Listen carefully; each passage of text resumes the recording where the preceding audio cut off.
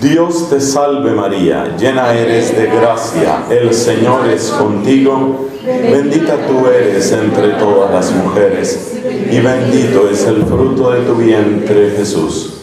Santa María, Madre de Dios, ruega por nosotros pecadores, ahora y en la hora de nuestra muerte. Amén. En el nombre del Padre y del Hijo y del Espíritu Santo. Amén. Por favor, siéntense. Llegamos al final de nuestro retiro de Adviento, apremiados por el amor. Por eso está muy bien que cantemos que el amor de Dios es maravilloso. Mire cómo es la providencia del Señor. Por su lado, por su parte, el Padre Antonio preparó este cortometraje para que lo viéramos sobre el malabarista creyente con su testimonio de pareja, su testimonio de familia. Realmente impresionante. Y sin que nos pusiéramos de acuerdo, la última charla sí está pensada, estaba pensada, se llama Parejas renovadas y amores renovados. Son señales que nos da la providencia de Dios, señales de su amor también. Yo quiero destacar en la introducción a este tema quiero destacar dos cosas. Primera, en el catecismo de la Iglesia Católica, por allá hacia el número 210 y siguientes, se está hablando del nombre de Dios y dice algo muy hermoso. Dice que estas dos palabras que aparecen al principio, a la izquierda de las desigualdades, amor y fidelidad, son las dos palabras que explican, que expresan de la manera más clara la riqueza del nombre de Dios. Es decir, Dios es aquel lleno de amor y es aquel lleno de fidelidad. El amor y la fidelidad son como las dos notas características del amor de Dios, del, ser de Dios. Amor y fidelidad. Pero resulta que esas dos características del nombre divino son también las características más necesarias en nuestra vida humana. Si nosotros miramos qué es lo que espera una persona de su pareja, es esto, que me quiera y que me sea fiel. Y es muy importante descubrir esa realidad porque esto nos indica la unidad interna que tiene el amor en el corazón humano. Lo mismo que esperamos y necesitamos de Dios es lo mismo que esperamos y necesitamos en nuestras relaciones de amistad y de pareja. Porque en la amistad también se necesita esto. Quizás lo decimos con otras palabras, pero se necesita lo mismo. Lo que nosotros esperamos de nuestros amigos, ¿qué es? Pues que nos acepten, que, que nos apoyen, que nos quieran. Finalmente lo que esperamos de los amigos es que nos quieran, y esperamos de ellos que sean leales, que no nos traicionen. Entonces, el amor y la fidelidad son las grandes necesidades del corazón humano y son las grandes ofertas del corazón divino. Los que no hayan vendido su libreta, por favor, apunten esa frase. El amor y la fidelidad son las grandes necesidades del corazón humano y son las grandes ofertas, los grandes dones del corazón divino. Cuando digo que el corazón humano tiene esas necesidades, estoy diciendo que también los que no estamos casados, los que no tenemos vocación de matrimonio, también nosotros de todas maneras seguimos necesitando amor y fidelidad también nosotros. Porque esto es algo que está escrito en el corazón de cada ser humano. Repito, no solamente es lo que esperamos, qué sé yo, de una novia o de una esposa, es lo que esperamos de nuestros amigos. Pero resulta que hay dos grandes malos entendidos en nuestra época. Y un malentendido es que se mira el amor únicamente como algo deleitable. Es decir, se mira el amor como enamoramiento. Se reduce el amor a la fase de enamoramiento. Y el enamoramiento es una, es una fase, es una etapa sumamente importante dentro de la pareja Y es muy valiosa, muy, muy valiosa, pero no es todo el amor. Y entonces cuando se hace la ecuación, cuando se trata como equivalente amor igual enamorarse o amor igual enamoramiento, entonces el único aspecto que parece importarle a algunas personas con respecto al amor, en cuanto al amor lo único que les interesa es que yo me sienta a gusto, que yo me sienta bien, que yo me sienta emocionalmente compensado, enriquecido. Es lo único que interesa. Es muy interesante en la reciente exhortación apostólica del Papa Francisco que lleva por título Evangelii Gaudium, una encíclica que el Papa Francisco publicó como exhortación después del sínodo sobre la nueva evangelización y por consiguiente la publicó al culminar el año de la fe en esa encíclica, encíclica no, exhortación, utilicemos la palabra precisa, en esa exhortación apostólica refiriéndose al matrimonio, dice el Papa Francisco algo muy importante, dice, el matrimonio es mucho más que la dimensión emocional, que la dimensión sentimental. Porque cuando pensamos que el amor se reduce al enamoramiento o que el matrimonio se reduce a la dimensión emocional, entonces en el fondo estamos esperando que el amor sea equivalente al deleite. Y cuando ya me dejó de deleitar, cuando ya me dejó de gustar, cuando ya llegó esa otra fase que seguramente es importante pero es más difícil, entonces ya decimos se acabó el amor. Y por eso tenemos una epidemia de infidelidad. Una epidemia, una verdadera epidemia. Los matrimonios no están durando. Pero no es un problema solamente del matrimonio, es un problema también de los sacerdotes. Tenemos un problema muy grave. En muchas comunidades religiosas tenemos el caso de sacerdotes muy jóvenes que ya están tirando la toalla. Es decir, ya pasó, como se diría entre comillas, la luna de miel del sacerdocio. Es decir, ya pasó ese momento en el que eres el nuevo, el especial, el joven, el simpático. Ya pasó esa fase y entonces no, ya no le encuentro deleite, luego ya no hay amor. Fíjate el daño tan grave que eso produce. Cuando se trata al amor únicamente desde la mirada del deleite, de inmediato el que sale perdiendo es el amor. Porque el que mira el amor únicamente como deleite quiere decir que cuando no se sienta deleitado, cuando no le parezca que la situación es deleitable, entonces ya se acabó, ahí no hay nada que hacer. Yo creo que es que estoy maravillado de la providencia de Dios porque varias de las cosas que salían en esta película que hemos visto son eso. Fíjate, por ejemplo, la pregunta que hace este productor de cine, la pregunta que hace el matrimonio que ya lleva más de 30 años de casados, y les dice, bueno, ¿y, ¿y qué? ¿Y las dificultades? ¿Y las peleas?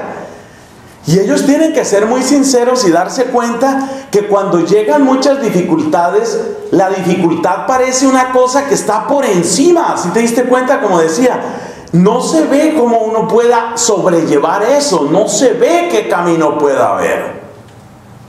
Y esa pareja, y esa es la experiencia de muchas parejas, y esa es la experiencia de muchos sacerdotes, y esa es la experiencia de muchos creyentes, esas personas dicen, esto por supuesto que me rebasa a mí, por supuesto, por supuesto, esto me queda grande a mí, pero no le queda grande a Dios, no le queda grande a Dios.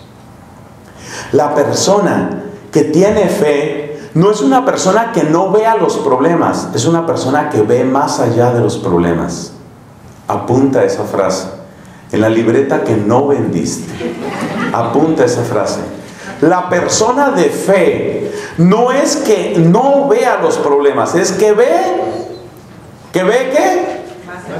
Más allá de los problemas. A ver, vamos a repetir eso porque es importante. La persona que tiene fe no es que qué, que no vea los problemas, sino que qué, ve más allá de los problemas.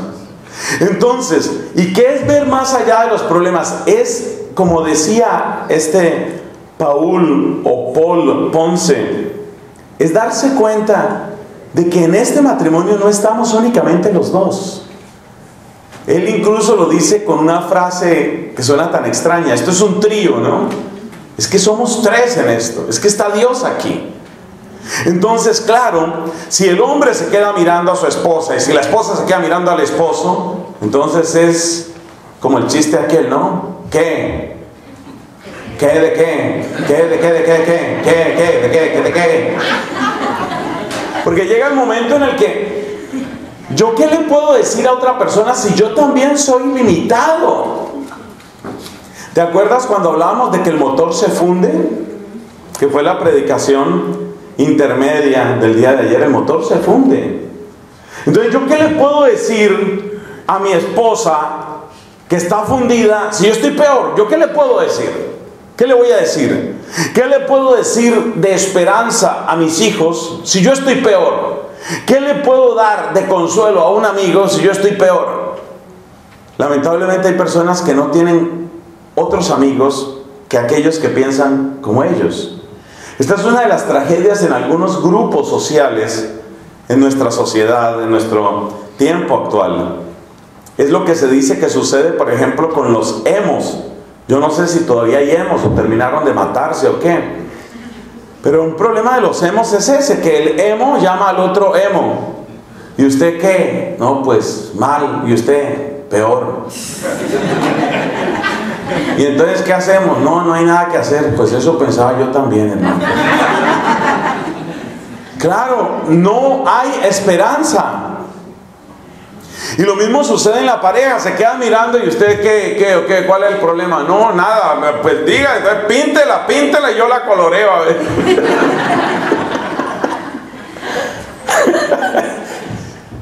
Ahí no hay esperanza. Dios nos dice el catecismo de la Iglesia Católica hacia el número 209, 210, 211, son números preciosos que hablan sobre la hermosura y el poder del nombre de Dios. Dios se revela como amor fiel, fidelidad amorosa. Qué bonitas esas dos expresiones, amor fiel, fidelidad amorosa. Un amor que no sea fiel deja una amargura espantosa. Una fidelidad que no sea amorosa es pura dureza, es puro aguante, es pura resistencia. Pero una vocación vivida en la pura resistencia y en el puro aguante, en realidad significa la destrucción de la felicidad. Y así tampoco se vive. Entonces, pongamos orden en esto. El nombre de Dios se revela como amor y fidelidad. Pero no confundamos el amor solo con el momento del deleite. Que el deleite es muchas cosas. El deleite es me gusta tu cuerpo, o el deleite es me gusta tu conversación, o el deleite es me gusta tu compañía, o el deleite es me gusta que tú sí me escuchas, o el deleite es que tú me pones cuidado, nadie me ponía cuidado. Fui donde el psicólogo y le dije, nadie me pone cuidado, y él respondió el siguiente. Entonces, claro, el deleite es muchas cosas. El deleite es ese, es ese sentirse a gusto con la otra persona por alguna razón. Pero el amor no es solamente el deleite.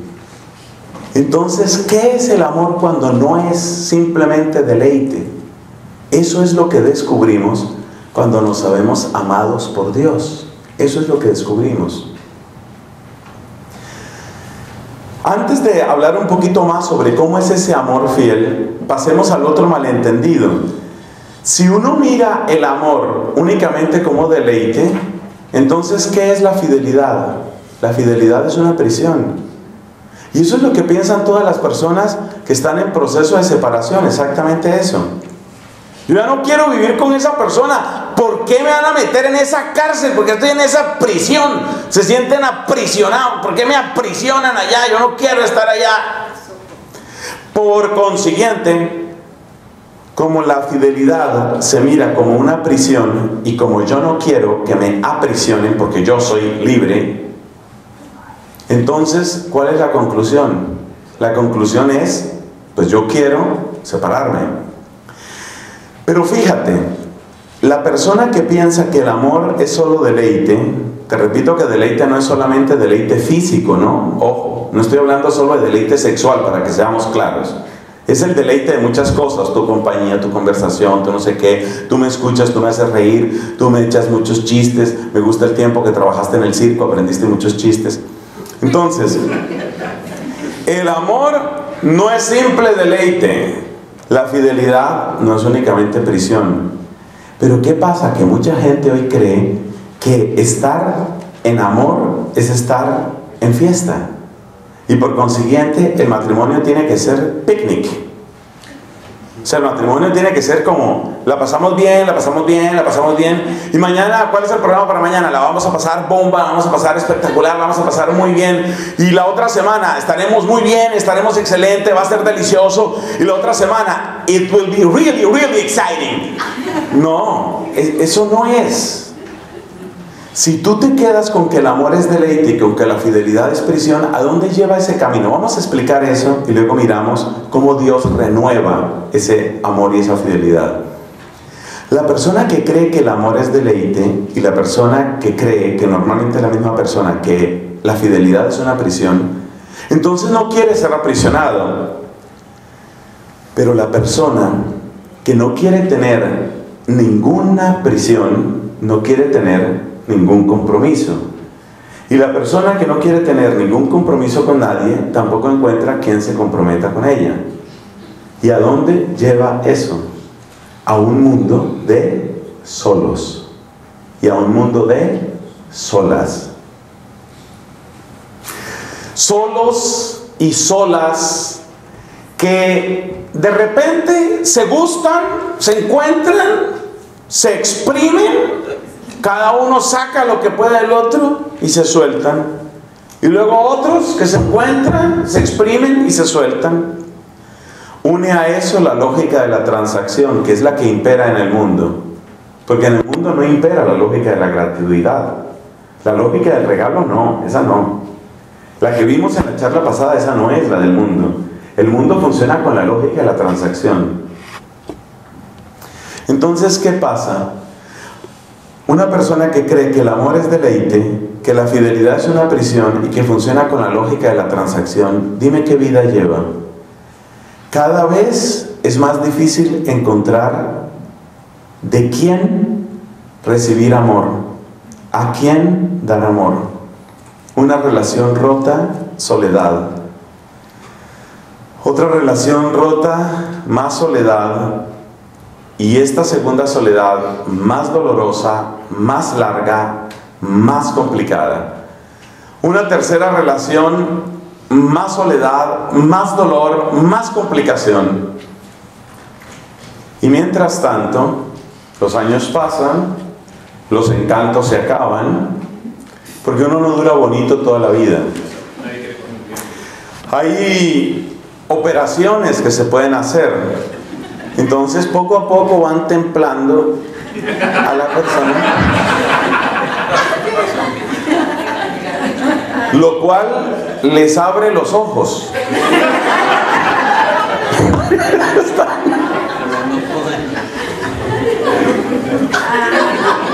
Entonces cuando ustedes vayan, que a algunos les puede tocar, cuando ustedes estén en el proceso del dating que llaman en inglés, eso cómo se traduce citas, ¿no?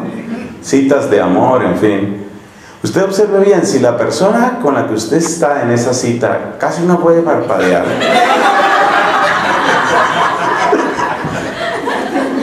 quizás no tiene la edad que parece. Es una persona que está retemplada. Pero eso tiene un límite. Eso tiene un límite, es decir, cuidar el aspecto personal y, llevar una alimentación saludable y hacer un poco de ejercicio y hacer estiramiento y todo eso. Hoy la gente hace una cantidad de estiramientos y eso es muy importante, sobre todo estirar el sueldo, por ejemplo.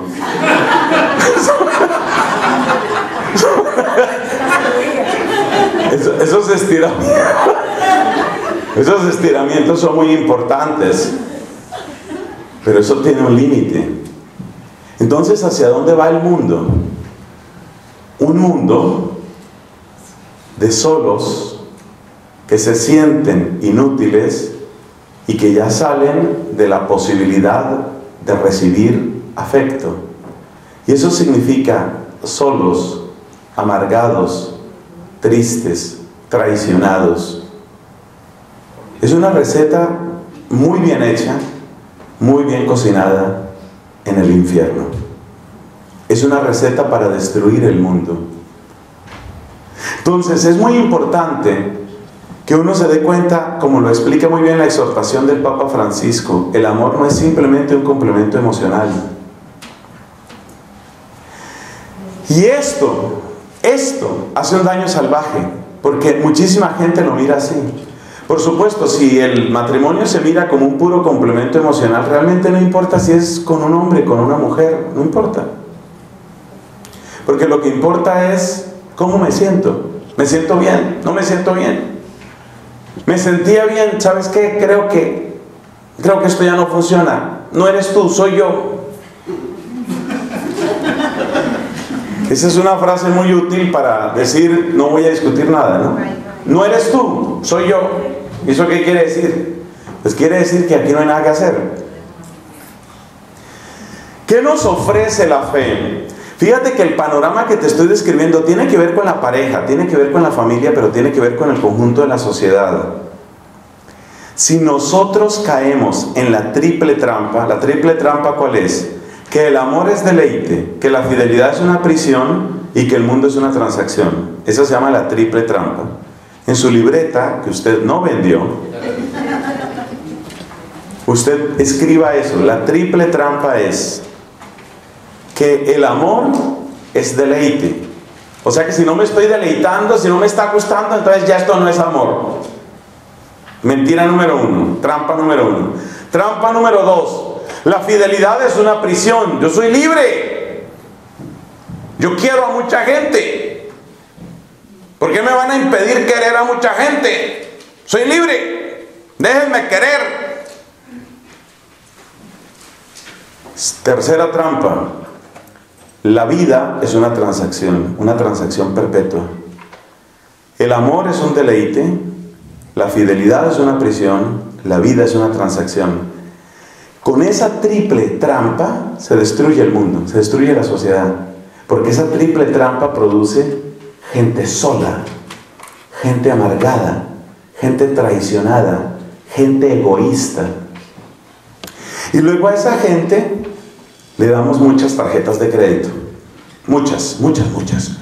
Y ahora entra uno a un almacén, ya usted tiene esta tarjeta, mire, es una tarjeta que le hará profundamente feliz. Usted con esta tarjeta, mire todo lo que puede comprar. Usted puede comprar tantas cosas que puede comprar incluso un servicio para que luego saquemos lo que usted no usa en su casa. ¿Cómo es? Mire, con estas tarjetas usted compra tantas cosas que se le va a llenar la casa. Cuando ya llene la casa, la misma tarjeta le permite comprar un servicio para que le desocupemos lo que usted no usa. Ah, o sea que yo pago para llevar las cosas a la casa y luego pago para que me las saquen. Sí, exacto, es un servicio muy completo. Y esa es la vida. Mira, en una parroquia, esa no fue una parroquia católica, eso lo hicieron unos episcopalianos. En una parroquia, el predicador se le ocurrió esta idea una parroquia grande, mayormente de gente americana, como suele suceder en los episcopalianos. Entonces les dijo a la gente, se le ocurrió un domingo, yo no sé qué pasaje era, le estaban leyendo, y le dice el hombre esto, vivimos en una sociedad tan absurda, en una sociedad de consumo tan absurda, que mucha gente acumula cosas, compra cosas y nunca las utiliza. Cuando él dijo eso se quedó pensando, oye, pero qué tontería he dicho. Se supone que cuando la gente compra, pues compra para utilizar. Pero se dejó llevar por una cierta intuición y les dijo, les voy a pedir un favor. El próximo domingo en el servicio, porque ellos no tienen propiamente Eucaristía, no le llaman Eucaristía ni misa, ellos dicen el servicio, ¿no? En el servicio que vamos a tener la semana entrante, traiga usted algo de lo que esté en su sótano, en su basement, traiga algo que usted tenga en el sótano que usted no lo haya abierto. Cosas que usted compró y que ni siquiera las ha abierto. Y él dijo, pues nadie traerá nada. O sea, ¿quién va a aparecer con eso? Mira, llenaron un camión de donaciones. Cosas que la gente había comprado y que tenía en su basement y que ni siquiera las había abierto. Ni siquiera las había abierto. Había de todo. De todo había. Había computadores, había juguetes, había electrodomésticos, había ropa, ropa que la gente ha comprado y que nunca se ha puesto. Nunca. Yo me acuerdo escuchar en un grupo de oración en Colombia la conversión de una señora, vamos a decir, de cierta clase social, que ella contaba su testimonio y ella decía, mi testimonio es la cosa más vergonzosa del mundo. Y yo no les voy a hablar de ninguna infidelidad, ni de ningún problema de cama, ni de sexo, ni de nada de eso. ¿Saben cómo me convertí yo? Yo me convertí el día que una empleada de mi casa, ella por supuesto tenía varias empleadas en la casa, y dice, me convertí el día en que una empleada de mi casa estaba haciendo el aseo y me dijo, señora, yo creo que estos trajes ya toca echarlos, ya toca botarlos. Están no solo muy sucios, sino que están apolillados, ya están muy viejos.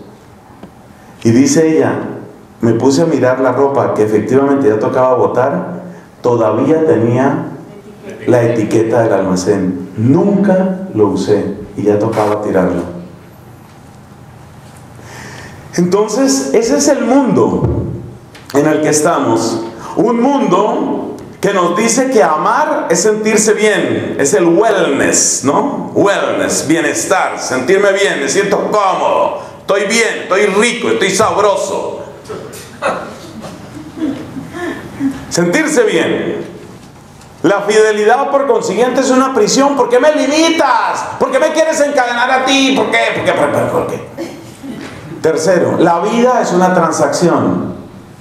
Y una vez que tú unes esas tres trampas, el amor es un deleite, la fidelidad es una prisión y la vida es una transacción, ¿a dónde te lleva? A la soledad y a la amargura. ¿Y con qué cosas tratamos de tapar esa soledad y esa amargura? Con las tarjetas de crédito. Entonces queremos sepultarnos debajo de montañas de carteras, botas, faldas, autos, iPad, iPad, iPad, iPod, iPod. Queremos llenarnos de todo. Sepultarnos de aparatos. Señor, aquí le llegó su cargamento de aparatos, échemelo, échemelo encima. Queremos sepultarnos en electrodomésticos, sepultarnos en electrónica, sepultarnos en compras, sepultarnos en deudas, sepultarnos. A veces pasa uno por una casa y ve una montaña de papeles. ¿Qué es eso? Debajo está un señor endeudado.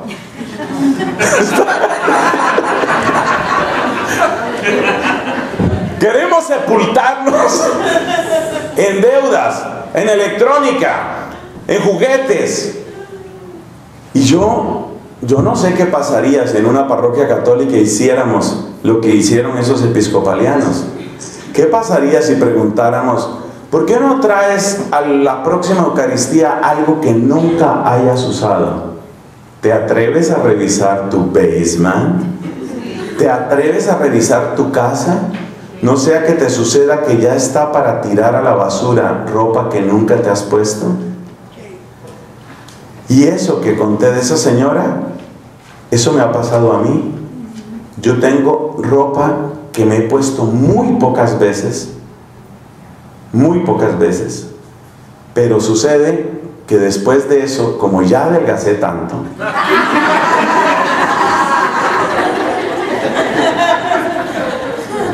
Bueno, mejor sigamos aquí. Entonces, ya quedó clara la triple trampa. ¿Cuál es el adviento? El adviento es la victoria sobre la triple trampa. El amor es más que un deleite. La fidelidad es mucho más que una prisión y la vida es mucho más que una transacción. Ese es el adviento. Y ese es el encuentro con Cristo. ¿Cómo describo yo, cómo descubro yo que el amor es mucho más que un deleite? Me parece absolutamente vital lo que nos recuerda el Papa Francisco en la exhortación apostólica Evangelii Gaudium. Tenemos que recordar una y otra vez, primera carta de Juan, Él nos amó primero. Es decir, la experiencia de la manera como Dios me ha amado, me lleva a descubrir que es el amor. Óiganme esto, queridos señores, caballeros, el amor no se descubre viendo los ojos de una mujer, no. Eso suena bonito para un libro de poesías. Te vi y descubrí el significado del amor. Oh. Eso sirve para un libro de poesía. Pero eso no es verdad. Eso no es verdad. No, el significado del amor no se encuentra en los ojos de una mujer. El significado del amor no se encuentra en la voz del amado. No. ¿Dónde se encuentra el significado del amor? Se encuentra en Dios. Él nos amó primero. Él nos amó primero. ¿Y eso qué quiere decir? Que en la experiencia de saberme amado por Él, saberme perdonado, acogido, sostenido, alimentado, conducido por Él, ahí descubro lo que es el amor.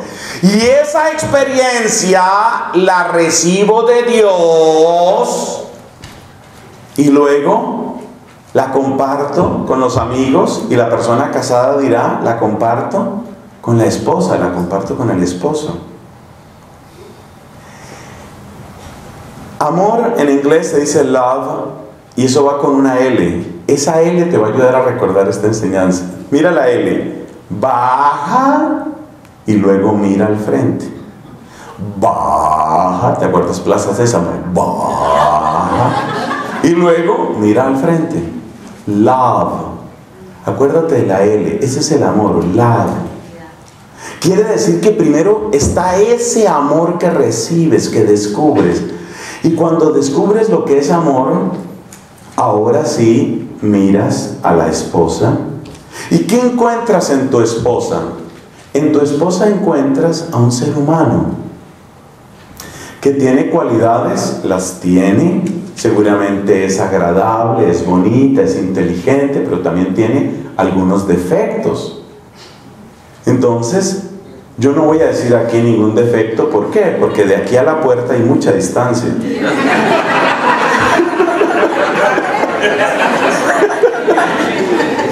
Pero digo en general, en general hay que defectos.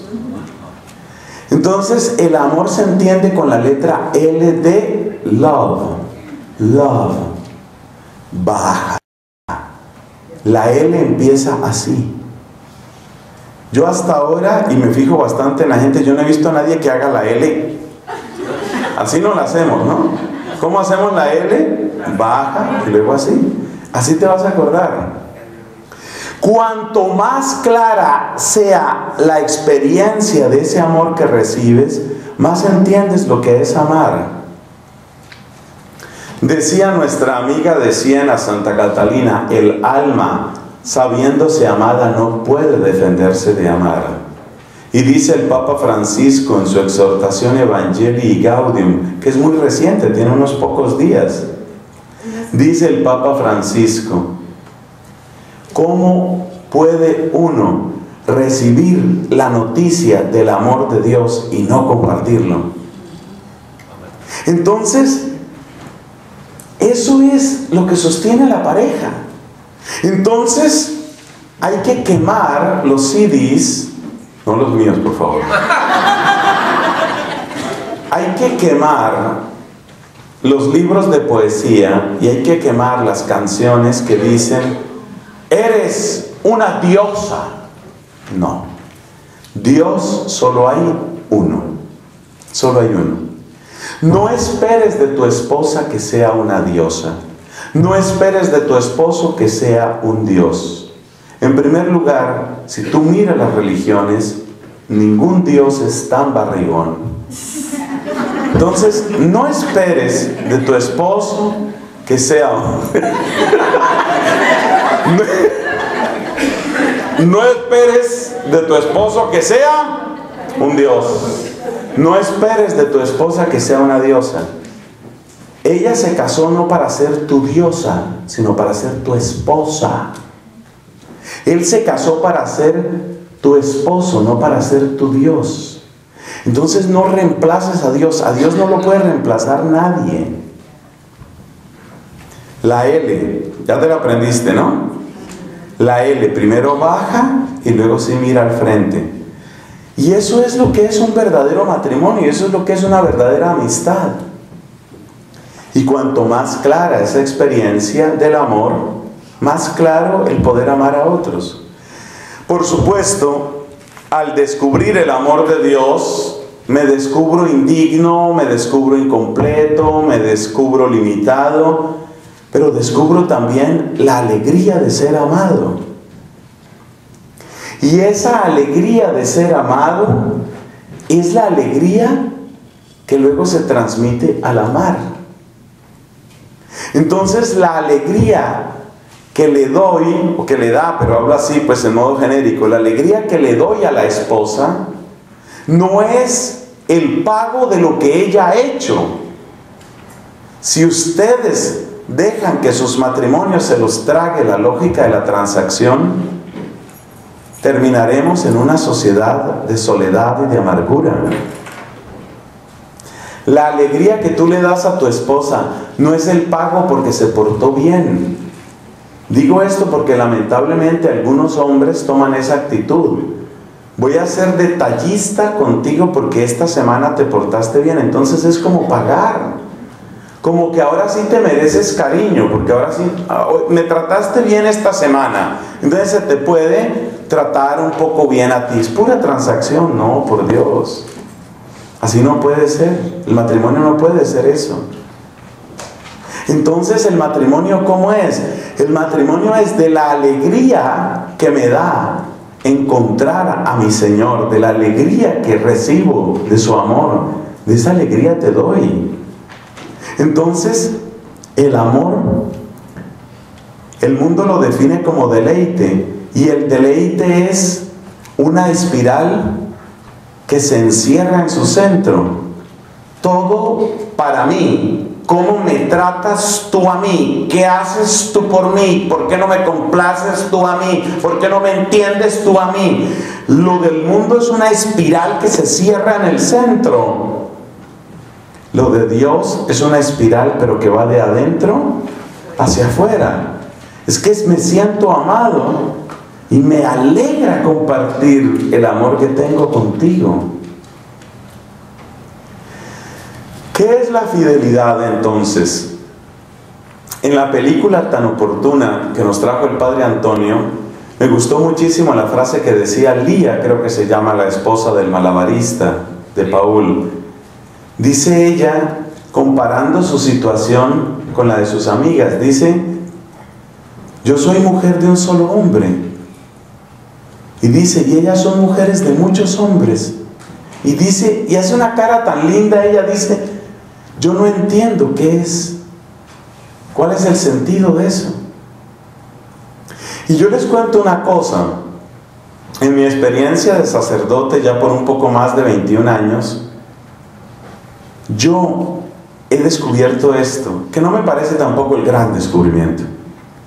Cuando uno habla con sinceridad, con paz y con confianza con una mujer, siempre descubre que el ideal del corazón de la mujer es entregarse a un hombre. Un hombre, por supuesto, que la merezca, que la entienda, que etcétera, pero uno, uno. ¿Y por qué la fidelidad ahí no es una prisión? ¿Por qué? ¿Qué es lo que tiene eso? Pues te lo voy a describir de esta manera. ¿Cuántas maneras, cuántas veces te puedes entregar por completo? Que eso fue lo que planteaba Lía en la película. ¿Cuántas veces te puedes entregar por completo? ¿Cuántas veces? Eso es lo que yo les digo a las mujeres, porque hoy son las mujeres las que más defienden lo de tener relaciones con sus novios, ¿no? Entonces, y siempre son ellas las que toman así como una postura un poquito, así como arrogante y como desafiante, ¿no? Padre, pero ¿por qué la iglesia va a prohibir amar? Nos amamos, nos queremos. Yo no me estoy acostando con cualquiera, yo sé con quién me, está, me estoy acostando. Estoy acostando con Ernesto, bueno, digo Jaime.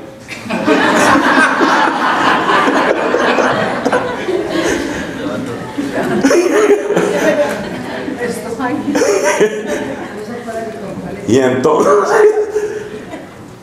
y entonces dice uno, a ver, señorita, usted dice que se está acostando con Ernesto. No, no, no, espere que ya, ya se aclaró, ya, ya se aclaró su cabeza. Era Ernesto. Bueno, ah, no, era Jaime, ¿no? Era Jaime, de verdad era Jaime. Me confundí, fui yo, Jaime. Señorita, usted dice que se está acostando con Jaime. Cuando usted se acuesta, cuando usted tiene sexo, usted se entrega, claro, ese es el deleite en el sexo, entregarse. Ah, bueno, usted se entrega a Jaime, ¿se entrega completamente a Jaime? Sí, me entrego completamente a Jaime y lo disfrutamos, dicen los españoles, ¿no? No, es nada personal, padre. Lo, disfrutamos a tope. Me, me, gusta esa expresión española, es que yo quiero mucho a España, no es otra cosa, sino puro, puro amor, es un amor que le tengo a España. Nos entregamos y lo disfrutamos a tope, a tope. Ah, vaya, muy bien, lo disfrutáis a tope, perfecto. Entonces, tú te entregas a Jaime y te entregas completamente a Jaime. Si la relación con Jaime se acaba dentro de dos meses, ¿tú ya quedas sola por el resto de la vida? No, no, yo creo que pues el que seguiría sería Arturo, ¿no? Ah, ok. Y luego te entregas completamente a Arturo. Pues sí, sí, entonces ya me entregaría completamente a Arturo. Ajá. Y el año entrante, ¿quiénes siguen? Pues me entregaría completamente a Carlos y luego me entregaría completamente... Señorita, ¿cuántas veces puede entregarse usted completamente? Porque es que entregarse completamente no es entregar el presente, es entregar la vida. Y entregarse completamente es yo te entrego mi pasado y yo te entrego mi futuro. A ver, la vida humana es como una línea, ¿no? Desde que uno nace, ¿cierto? Hasta que uno muere, es una línea. Y lo hermoso de la fidelidad es, me entrego todo. Y entregarse todo, ¿qué es? Toda la línea. Te entrego también mi pasado. Te entrego mi presente. Te entrego mi futuro. Eso es amar. Entonces la persona que no conoce la fidelidad es una persona que está entregando un segmento de la línea. Vamos a suponer que mi vida va a ser de 75 años. Entonces una persona que dice eso dice, bueno, yo te voy a entregar 5 años. O sea, como el que corta un salchichón, ¿no? De aquí aquí. Esta es la parte que le correspondió a Adriana, de aquí aquí, la partecita que le correspondió a Josefa, de aquí aquí. Nunca entregaste. Y aquí viene la parte más interesante. Mira, el que no conoce la fidelidad, no conoce el amor. Porque el amor de suyo reclama la donación. Acuérdate uno que sí amaba, el apóstol San Pablo. ¿Te acuerdas la frase? Queríamos daros no solamente el Evangelio, sino nuestra propia vida. Y es que eso es lo hermoso del amor. Yo lo haría todo por ti. Todo ese lenguaje qué quiere decir? Si no es puro romanticismo vacío, lo que ese lenguaje significa es me entrego a ti, te doy todo. Pero ¿cómo das todo sin dar el futuro? Eso no es todo.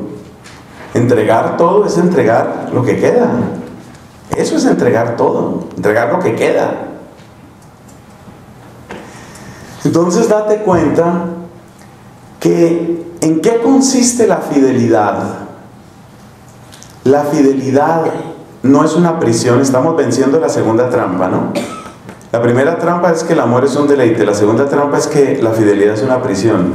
No, la fidelidad no es una prisión. La fidelidad es mi manera de amar. Lo único que le da seriedad a un te amo es estaré contigo. Es lo único que tiene sentido. Te amo significa estaré contigo. Porque te amo significa me entrego a ti. Y me entrego a ti significa entrego mi pasado, mi presente y mi futuro. Eso es lo que significa te amo. Y yo no conozco una mujer que cuando uno hable en serio con ella tenga otra definición de amor.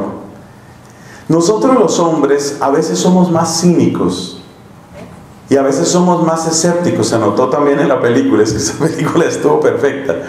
Nosotros los hombres somos a veces más cínicos, más escépticos, pero en el fondo, en el fondo el hombre sabe que eso es amor, que el amor es eso.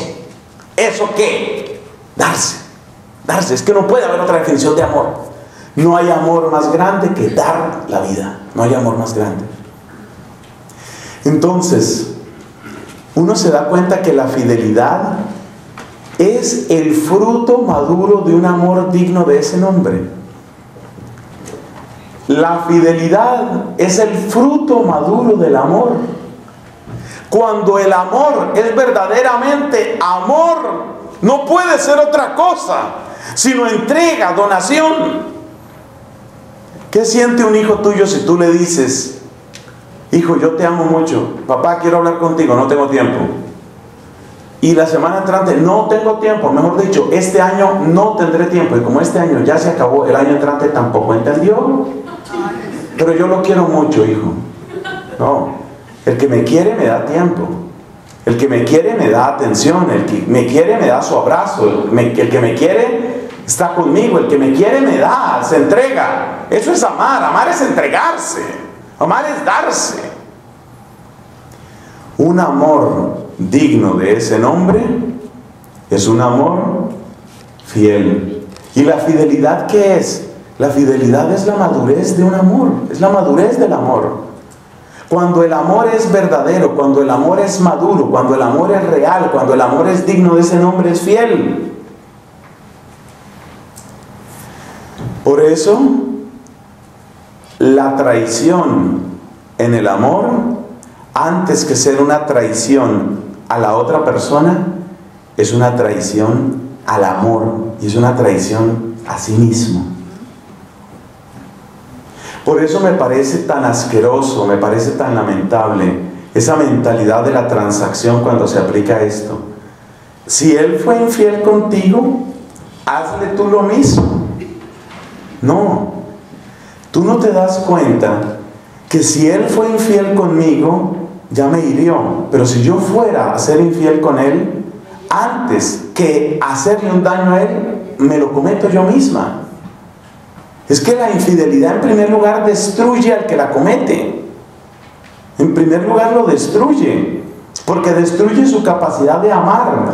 Porque destruye el significado del amor en sí, dentro de la persona. Terminemos, hermanos. Terminemos nuestro retiro apremiados por el amor. Terminemos descubriendo la L del love, la L del amor.